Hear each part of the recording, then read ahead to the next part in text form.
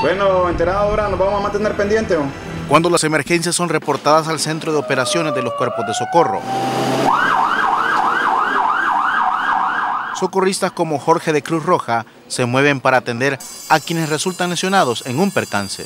Esto es un trabajo en equipo, todos nos complementamos, desde el compañero motorista, este, los compañeros socorristas que nos acompañan, los rescatistas que hacen las labores más pesadas a la hora de eh, sacar pacientes de lugares complicados. Salvar vidas es lo que mueve a estas personas para rescatar a los heridos que están atrapados entre los hierros retorcidos y llevarlos a los hospitales de ser necesario.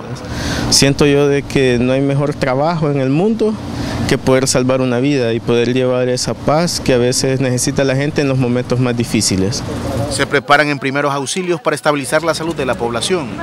Necesito un acompañante. Ahí va a ir el compañero. A ellos no les importa exponer sus vidas para responder al auxilio de las víctimas.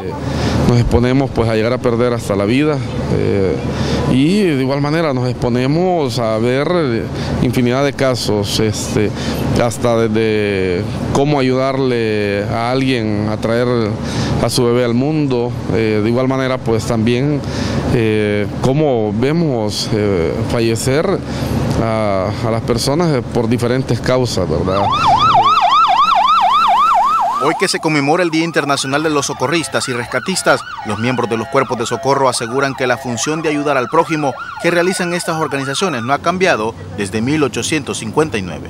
Eh, así también pues nos exponemos a las diferentes inundaciones que, que hay más en esta época de lluvia, pero de igual manera para nosotros es bastante satisfactorio poderle ayudar a, a las personas.